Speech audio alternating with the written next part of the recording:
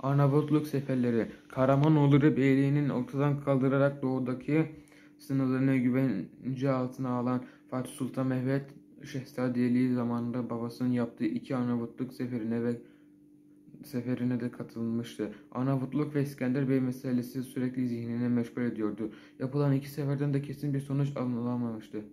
Alınamamıştı. Sonraki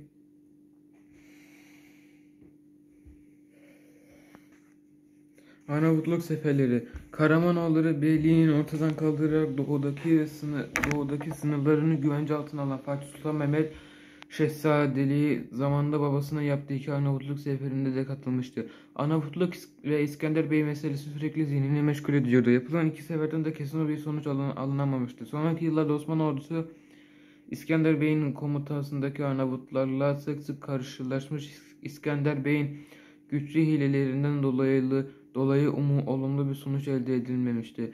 Kesin bir sonuç elde edilmemesi üzerine Fatih Sultan Mehmet 1463 yılı Mayıs ayında İskender Bey ile bir anlaşma yaptı.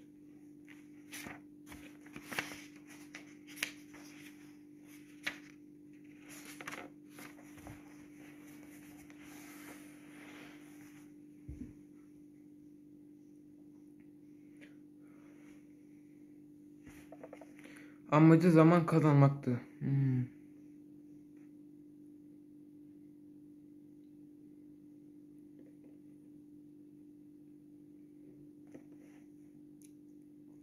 Papa Papa Papalık tarafından büyük destek ve, teş ve teşvik gören İskender Bey Venediklili Venedikliler ve Macarların etkisiyle anlaşmaya tanım, tanımadılar tanımadığını belirtti. Bunun üzerine Sultan Fatih Arnavutluk üzerine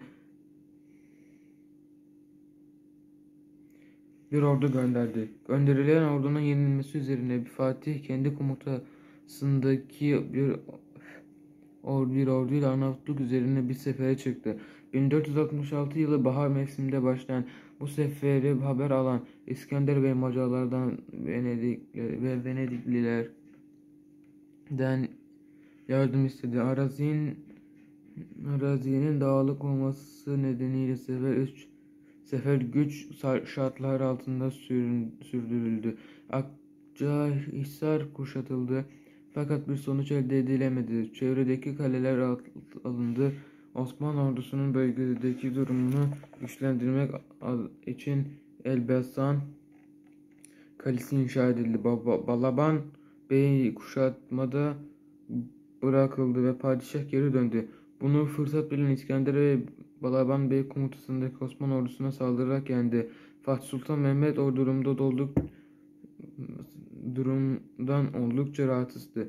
1466 yılında sonlarına doğru ikinci defa Arnavutluk üzerine bir sefer düzenlendi. 1467 1467 yılının ortalarında doğru Akçahisar tekrar kuşatıldı fakat yine ele geçirilme, geçirilemedi.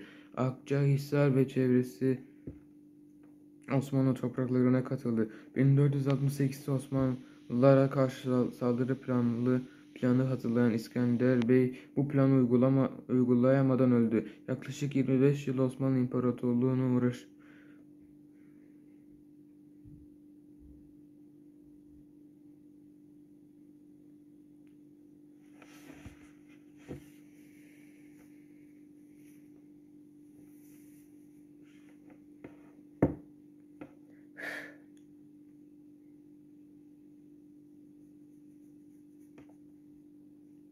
Yaklaşık 25 yıl Osmanlı İmparatorluğu'nu uğraştıran İskender Bey'in ölümü ölümüyle Arnavutluk sorunu bir şekilde çözülmüş oldu. Ayrıca Arnavutluk topraklarında kısmen Osmanlı yönetimi altına girmiş oluyordu. Yaklaşık 25 yıl Osmanlı İmparatorluğu'nun İmparatorluğu uğraştıran İskender Bey'in ölümüyle Arnavutluk sorunu bir şekilde çözülmüş oldu. Ayrıca Arnavutluk topraklarına da kısmen Osmanlı yönetimi altına gelmiş ol, ol, oluyordu. Evet arkadaşlar bu like atıp abone olmayı unutmayın. İyi